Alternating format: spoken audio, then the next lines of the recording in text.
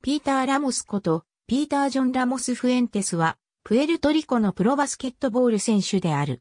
スペイン男子、プロバスケットボールリーグ一部リーガーアッコ部のフエンラブラダに所属している。ファヤルド出身。ポジションはセンター。222センチメートル、125キログラム地元で、ストリートボールに熱中し、15歳で2メートルを超えていたラモスは、国内リーグでプレー。2004年には NBA のワシントンウィザーズにドラフト32位指名を受け入団。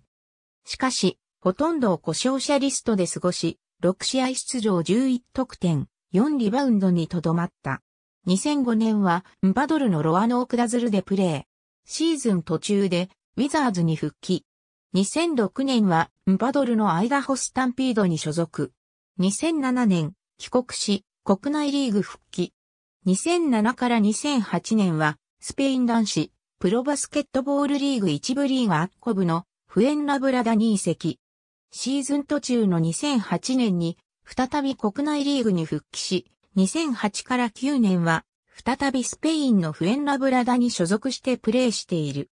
2003年よりプエルトリコナショナルチームに選ばれ、アテネ五輪及び2006年世界選手権に出場した。